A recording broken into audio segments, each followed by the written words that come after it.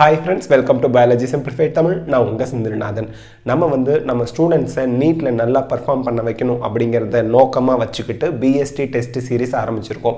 இந்த சீரீஸில் ஃபஸ்ட்டு டெஸ்ட்டில் நம்ம unit three cell structure and function conduct பண்ணோம். சண்டே சண்டே நமக்கு யூனிட் டெஸ்ட் வரப்போகுது. அதாவது டெஸ்ட் சீரிஸில் test one test two test த்ரீன்னு வரப்போகுது. அதில் யூனிட் த்ரீ நம்ம இப்போ முடிச்சிட்டோம். That is cell structure and function இதோட அனாலிசிஸ் இப்போ டீட்டெயிலாக பார்த்துடலாம். நாற்பத்தஞ்சு கொஷின் கேட்டிருந்தோம். இதில் forty five out of forty five ஒரு ஸ்டூடெண்ட்டும் forty four out of forty five எட்டு ஸ்டூடெண்ட்டும் forty three out of forty five முப்பத்தி ஒரு ஸ்டூடெண்ட்டும் forty two out of forty five sixty five ஸ்டூடெண்ட்ஸும் forty one out of forty five ninety three ஸ்டூடெண்ட்ஸும் forty out of forty five one fifty eight ஸ்டூடெண்ட்ஸும் வாங்கியிருந்தாங்க. இவங்க எல்லாருக்குமே congratulations நல்லா படிச்சுக்கிட்டு இருக்கீங்க கீப் கோயிங் இதுக்கு கீழே வாங்கினவங்களாம் நீங்களும் நல்லா தான் படிச்சுட்டு இருக்கீங்க இன்னும் கொஞ்சம் ஹார்ட் ஒர்க் பண்ணுங்கள் காரணம் என்னென்னா நம்ம கேட்ட நாற்பத்தஞ்சு கொஷினுமே என்சிஇஆர்டி பேஸ்டு கொஷின் தான். சிலபஸை விட்டு வெளியே போய் நம்ம கொஷின் கேட்கவே இல்லை. அப்போது இன்னும் கொஞ்சம் நல்லா படிக்கணும். நாற்பது மார்க் ஃபார்ட்டி ஃபைவ் கொஷின் வைக்கிறோம்னா ஃபார்ட்டி மார்க்ஸாவது வாங்கிடணும் அப்படிங்கிறத மனசில் வச்சுக்கணும். நல்லா ப்ரிப்பேர் பண்ணணும். நெக்ஸ்ட்டு டோட்டல் ஸ்டூடெண்ட்ஸ் எத்தனை பேர் எழுதியிருந்தாங்க? எனக்கு ரொம்ப ரொம்ப சந்தோஷமாக இருந்துச்சு. ஒரு ஆயிரம் ஸ்டூடெண்ட் நம்ம டெஸ்ட்டை எழுதிட்டா கூட நமக்கு மிகப்பெரிய சக்ஸஸ் அப்படின்னு நான் நினச்சிக்கிட்டு இருந்த சமயத்தில் மூவாயிரத்தி முந்நூற்றி மூணு ஸ்டூடெண்ட்ஸ் இது வரைக்கும் அட்டன் பண்ணியிருக்காங்க எப்போ வேணால் எத்தனை ஸ்டூடெண்ட்ஸ் வேணால் அதை அட்டன் பண்ணலாம். அது ஓப்பன்லேயே தான் இருக்க போகுது. ஓகேங்களா ஸோ டெஸ்ட்டுக்கான ரிசல்ட்டும் நம்ம ரிலீஸ் பண்ணியாச்சு. இப்போது ஸ்டூடெண்ட்ஸுக்கு டஃப் கொடுத்த கொஷின்ஸ் என்னென்ன கொஷின்ஸ் தெரியுமா? ஸ்டூடெண்ட்ஸ் நிறைய ஸ்டூடெண்ட்ஸ் பண்ண தப்பு. எந்த கொஷின்ஸில் அப்படின்னா sixteenth question twenty five question twenty sixth twenty ninth thirty fifth thirty seventh thirty ninth forty fourth இந்த எட்டு கொஷின் தான் ஸ்டூடெண்ட்ஸுக்கு ரொம்ப டஃப் கொடுத்த கொஷின்ஸ் இந்த கொஷினை நம்ம கடகடன்னு டிஸ்கஸ் பண்ணிடலாம். ஃபஸ்ட்டு சிக்ஸ்டீன்த் கொஷின் என்ன? The organic compound are found in the fraction இங்கே வந்து பார்த்தீங்க அப்படின்னா பயோ மாலிகூல்ஸில் ஒரு லிவிங் டிஷ்யூ அதாவது லீஃப் டிஷ்யூவோ இல்லை அனிமல் டிஷ்யூவோ எடுத்து நீங்கள் ட்ரைக்ளோரோ அசிட்டிக் ஆசிட் அதில் வந்து நல்லா கிரைண்ட் பண்ணிவிட்டு அதை ஃபில்டர் பண்ணினீங்க அப்படின்னா உங்களுக்கு ரெண்டு ஃப்ராக்ஷன் கிடைக்கும். இப்படி. அந்த ரெண்டு ஃப்ராக்ஷனில் மேலே ஃபனலுக்கு மேலே உங்களுக்கு இருக்கிறது ஆசிட் இன்சாலிபிள் ஃப்ராக்ஷன் அப்படிம்பாங்க. கீழே இருக்கிறது ஆசிட் சால்யூபிள் ஃப்ராக்ஷன் அப்படிம்பாங்க. ஆசிட் சால்யூபிள் ஃப்ராக்ஷனில் ஆர்கானிக் ஆசிட் இருக்கும். ஏன்னா எல்லா ஆர்கானிக் ஆசிடுமே என்னது? ஆசிடில் கரையும். அப்போது ஆசிட் இன்சால்யூபிள் ஃப்ராக்ஷனில் கார்போஹைட்ரேட்ஸ் ப்ரோட்டீன் மாதிரியான லார்ஜர் ஆர்கானிக் காம்பவுண்ட்ஸ் மேலே இருக்கும். மேக்ரோ பயோ மாலிகூல்ஸ்னு சொல்லுவோம் இல்லையா? கார்போஹைட்ரேட்ஸ் யார்? ஆர்கானிக் காம்பவுண்ட்ஸ் அதே மாதிரி ஃபேட்ஸ் யார்? ஆர்கானிக் காம்பவுண்ட்ஸ் ப்ரோட்டீன்ஸ் யார்? ஆர்கானிக் காம்பவுண்ட்ஸ் ஸோ அதெல்லாம் பெரிய சைஸில் இருக்கிறதுனால ஃபில்டர் ஆகிருக்காது ஆர்கானிக் ஆசிடில் கரையுமோ கரையாதோ ஆனால் கரையும் ஆர்கானிக் ஆசிடில் கரைஞ்சாலுமே கூட கார்போஹைட்ரேட்ஸுங்கிறது என்னங்க? Larger molecules macro biomolecules அதனால் அது மேலேயே தங்கிடும். அதனால் both B and C acid insoluble and acid soluble ரெண்டு ஃப்ராக்ஷன்லையுமே இருக்கும். அப்போ ஆப்ஷன் டிங்கிறது தான் ஆன்சர் இருபத்தி அஞ்சாவது question which of these is not a feature of பிடிஎன்னு கேட்டிருந்தோம். இதில் வந்து பார்த்தீங்கன்னா one full turn of helix involves ten base pairs அப்படிங்கிறாங்க. ஒன் ஃபுல் டேர்ன் அப்படிங்கிறது இந்த ஒரு ஃபுல் டேர்னில் நமக்கு டென் பேஸ் பேர்ஸ் இருக்கும். தட் இஸ் கரெக்ட் அப்போது இன்கரெக்ட் தானே கேட்குறாங்க நாட் அ ஃபீச்சர் தான் கேட்குறாங்க இது ஃபீச்சர் தான். அப்போ அதை விட்டுருங்க. த rise per base pair in B DNA strand is zero point three four ஆம்ஸ்ட்ராங்னு கேட்டிருக்காங்க. இந்த இடத்துல உங்களை எதை கன்ஃபியூஸ் பண்ணியிருக்கோம்? ரைஸ் பர் அப்படிங்கிறது என்ன ரைஸ்னு கொடுத்துருக்காங்க அப்படின்னு உங்களுக்கு கன்ஃபியூஷன் ஆகிருக்கும் அதாவது வெர்டிக்கல் ரைஸ் ஆர் ரைஸ் அப்படின்னா என்ன அர்த்தம்னா ஒரு பேஸ் பேருக்கும் இன்னொரு பேஸ் பேருக்கும் இடையில உள்ள டிஸ்டன்ஸ் டிஎன்ஏ இப்படி இருக்குது கொஞ்சம் பெருசாக வரைஞ்சிடலாம். இந்த பேஸ் பேர் இப்படி இருக்குது இந்த பேஸ் பேர் இப்படி இருக்குது ஒரு பேஸ் பேருக்கும் இன்னொரு பேஸ் பேருக்கும் இடையில இருக்கக்கூடிய டிஸ்டன்ஸை தான் ரைஸ் பர் பேஸ் பேர் அப்படின்னு சொல்லுவோம். ஞாபகம் வச்சுக்கோங்க. இது zero point three four angstrom கிடையாது. த்ரீ பாயிண்ட் ஃபோர் ஆம்ஸ்ட்ராங் இதுதான் ஆன்சர் அப்போது நாட் எ ஃபீச்சர் அப்படிங்கிறது பி தான். The pitch of the B DNA strand measures thirty four angstrom that is correct the B DNA strand turns thirty six degree at each step of the helical ascent இதுவும் correct அப்போது இதுதான் not correct twenty sixth கொஷினை students கொஞ்சம் டஃப்பாக feel பண்ணியிருக்காங்க chemical reaction wherein biomolecules are synthesized or change, changed into other forms is அப்படின்னு கொடுத்துருக்காங்க. அதாவது கெமிக்கல் ரியாக்ஷன் நடக்குது அதில் பயோமாலிகுல்ஸ் ஒன்று சிந்தசைஸ் ஆகணும் இல்லை அதோட ஸ்ட்ரக்சர் சேஞ்ச் ஆகணும். அந்த மாதிரி நடக்கிறது. ஆக்சிடேஷனாக ரிடக்ஷனாக மெட்டபாலிசமாக எல்லாமானா எல்லாத்துலேயுமே தான் ஒன்று சிந்தசிஸ் ஆகும் அனபாலிசமாக இருந்தால் கெட்டபாலிசமாக இருந்தால் பிரேக் டவுன் ஆகும். இந்த எல்லா ரியாக்ஷன்லையுமே சேஞ்ச் ஆகும்.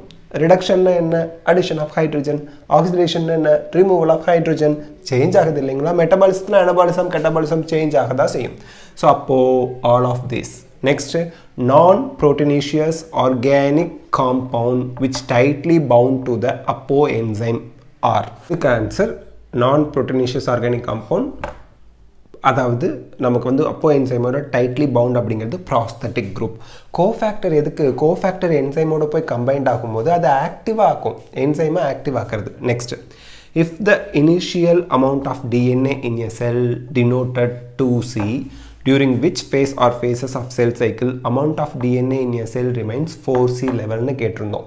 அதாவது யூஸ்வலாக நம்பர் ஆஃப் குரோமோசோம் மாறாது. டூ என் தான். எஸ் ஃபேஸில் வந்து பார்த்தீங்க அப்படின்னா நார்மலாக டிவைட் ஆகாத செல்லில் நார்மலாக இருக்கக்கூடிய டிஎன்ஏ கண்டென்ட்டை டூ சி அப்படிம்போம். எஸ் ஃபேஸில் டிஎன்ஏ ரெப்ளிகேட் ஆகும் number of chromosome two N தான் டிஎன்ஏ மட்டும் ரெப்ளிகேஷன் சிந்தசிஸ் ஃபேஸில் டிஎன்ஏ ரெப்ளிகேட் ஆகிறதுனால two C becomes four C அப்போ எஸ் ஃபேஸ்க்கு அடுத்து என்ன வரும்? ஃபஸ்ட்டு ஜி ஒன் ஃபேஸ் அப்புறம் எஸ் ஃபேஸ் அப்புறம் ஜி டூ ஃபேஸ் வரும். அப்போ ஜி டூ ஃபேஸ்லேயும் ஃபோர் சி தான் இருக்கும். எம் ஃபேஸில் என்ன ஆகும்? ஒரு செல்லு ரெண்டு செல்லாக டிவைட் ஆயிரும். அப்போ டூ சி டூ சின்னு பிரிஞ்சு போயிடும் குரோமோஸ் அதாவது டிஎன்ஏவோட கண்டென்ட் அப்போது ஜி டூ ஃபேஸில் மட்டும்தான் நமக்கு ஃபோர் சிங்கிற கண்டென்ட் மெயின்டைன் ஆகுது. எம் ஃபேஸில் செல்லு டிவைட் ஆகி போயிடுது இதுக்கு நம்ம கூட ஆன்சர் ஃபஸ்ட்டு தப்பாக தான் கொடுத்துருந்தோம் ஜி டூ அண்ட் எம்னு ஆக்சுவலாக கரெக்டான ஆன்சர் ஒன்லி ஜி டூ தான். ஸோ செல் சைக்கிளில் எந்த ஃபேஸில் டிஎன்ஏ கண்டென்ட் ஃபோர் சி லெவலில் இருக்குது அப்படின்னா ஒன்லி ஜி டூ அப்படிங்கிறது தான் சரியான ஆன்சர் நெக்ஸ்ட் கொஷின் பாருங்க. During prophase which among the following organelle show polar migration அப்படின்னு கொடுத்துருக்காங்க. சென்ட்ரோசோம் சென்ட்ரியோல் சென்ட்ரோசோம்ஸ்குள்ளே தான் இப்போ சென்ட்ரோசோம் எப்படி இருக்குன்னு வச்சுக்கோங்க. அதில் சென்ட்ரியோல் ரெண்டு சென்ட்ரியோல் ஒன்றுக்கு ஒன்று பெர்பெண்டிகுலராக இந்த மாதிரி இருக்கும். ஓகேங்களா இங்கே என்ன கேட்குறாங்க மூவ் ஆகுது. போலார் மைக்ரேஷன் மூவ் ஆகுது ப்ரோஃபேஸ் அப்போ அப்படின்னு கேட்டிருக்காங்க. இது இருக்கட்டும்.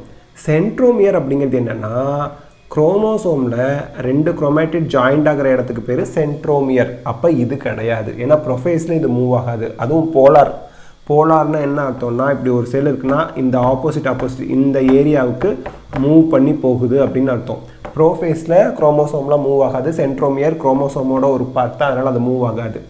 நியூக்ளியோலஸ் நியூக்ளியஸ்குள்ளே இருக்கிறது. அது டிஸப்பியர் ஆகிரும் ப்ரோஃபேஸ் அப்போது அப்போது சென்ட்ரியோல்ஸ் இருக்குது பார்த்தீங்களா அந்த சென்ட்ரியோல் வந்து பார்த்தீங்க அப்படின்னா எஸ் ஃபேஸில் எஸ் ஃபேஸில் டிவைட் ஆகிருக்கும் சென்ட்ரியோல்ஸ் தான் ஆப்போசிட் போல்ஸ்க்கு மூவ் ஆகும். ஓகேங்களா டோன்ட் ஃபர்கெட் நிறைய பேர் சென்ட்ரோமியர்னு ஆன்சர் போட்டிருந்தீங்க. சென்ட்ரோமியர் வேறு சென்ட்ரியோல்ஸ் வேறு. நெக்ஸ்ட்டு இந்த இதை அரேஞ்ச் பண்ணணும் அப்படின்னு சொல்லியிருந்தோம். Karyokinesis cell plate formation completion of cytokinesis middle லெவலில் ஃபார்மேஷன் கேரியோகைனசிஸ்னால் என்ன? பிளான் செல்லில் டிவிஷன் ஆஃப் நியூக்ளியஸ் முடிஞ்சிருச்சுன்னு அர்த்தம்.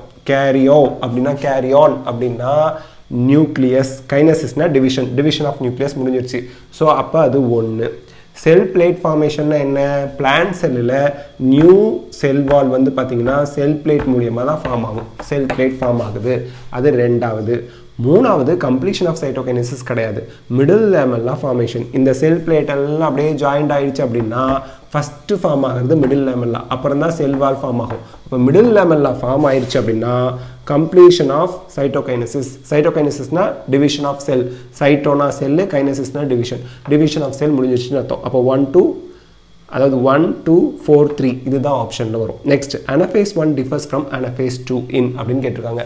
அனஃபேஸ் ஒன் அனஃபேஸ் டூன்னு வந்துருச்சுன்னா மியாசிஸ் ஒன் மியாசிஸ் டூ மியாசிஸை ரெப்ரசென்ட் பண்ணுறோம் மியாசிஸ் ஒன் அப்படிங்கிறது ரிடக்ஷன் டிவிஷன் இப்போது ஒரு செல்லில் டிப்ளாய்ட் நம்பர் ஆஃப் குரோமோசோம் நாலுன்னு வச்சுங்களேன் அந்த நாலு குரோமோசோமும் இப்படி வந்து நின்றுக்கும் சென்டரில் ஓகேங்களா இந்த மாதிரி. இந்த மாதிரி வந்து நின்றுக்கும் சென்டரில் ஓகேங்களா இப்படி வந்து நின்னதுக்கப்புறம் இங்கே இருந்து ஸ்பிண்டில் ஃபைபர் அந்த சென்ட்ரோமியரோட போய் ஜாயிண்ட் ஆகிருக்கும் ஒரு சைடில் தான் ஸ்பிண்டில் ஃபைபர் ஜாயிண்ட் ஆகிருக்கும் இன்னொரு சைடில் ஜாயிண்ட் ஆகிருக்காது எதில்? அனாஃபேஸ் ஒனில் அப்போது அந்த அனாஃபேஸ் ஒனில் செப்பரேஷன் ஆஃப் ஹோமோலாகஸ் குரோமோசோம் நடக்குது. அப்போ தான் டூ என் அப்படிங்கிறது என் டிப்ளாய்டு ஹேப்ளாய்டாக மாறும். ரிடக்ஷன் டிவிஷன் நடக்கும். ஸோ அனஃபேஸ் ஒனில் செப்பரேஷன் ஆஃப் ஹோமோலாகஸ் குரோமோசோம் நடக்கும். Anaphase two is equal to mitosis அப்போ அங்கே வந்து ஹோமலாகஸ் குரோமோசோம் செப்பரேட் ஆகாது. சிஸ்டர் குரோமேட்டிட்ஸ் தான் செப்பரேட் ஆகும். அப்போது option A separation of homologous chromosome anaphase ஒன்ல நடக்கும். அனஃபேஸ் டூவில் நடக்காது. Next separation of sister chromatids ரெண்டுலேயுமே நடக்கும். Alignment of chromosome along the equator மெட்டாஃபேஸில் நடக்கும். தெர் இஸ் நோ டிஃப்ரென்சியேஷனுங்கிறது கிடையாது. செப்பரேஷன் ஆஃப் ஹோமோலாகஸ் குரோமோசோம் அதுதான் ஆன்சர் ஸோ இந்த வீடியோவில் வந்து நம்ம டெஸ்ட் ஒன் யூனிட் டெஸ்ட் ஒன்னோட அனாலிசிஸ் பார்த்துருக்கோம். இந்த டெஸ்ட்டில் forty five out of forty five ஒரு ஸ்டூடெண்ட் வாங்கினாங்க இல்லையா? அவங்களுக்கு மெயில் அனுப்பியாச்சு. அவங்களுக்கு five hundred rupee Amazon gift வவுச்சரும் கொடுத்துருவோம். ஸ்பான்சர்ஸும் இது வரைக்கும் நமக்கு மூணு பேர் காண்டாக்ட் பண்ணியிருக்காங்க. அவங்கள திருப்பி நான் காண்டாக்ட் பண்ணணும். ஸோ அதுவும் ரொம்ப சந்தோஷமான ஒரு விஷயமா இருக்குது ஓகே ஸோ நெக்ஸ்ட் டெஸ்ட் வர சண்டே நடக்க போகிற டெஸ்ட் டூக்கான அப்டேட் சீக்கிரமே நான் உங்களுக்கு வீடியோ வடிவில் அப்லோட் பண்ணிடுறேன். இந்த வீடியோ உங்களுக்கு ஹெல்ப்ஃபுல்லாக இருக்கா? லைக் ஷேர் கமெண்ட் பண்ணுங்கள் பயாலஜி சிம்பிளிஃபைட் தமிழுக்கு சப்ஸ்கிரைப் பண்ணுங்கள் தேங்க்யூ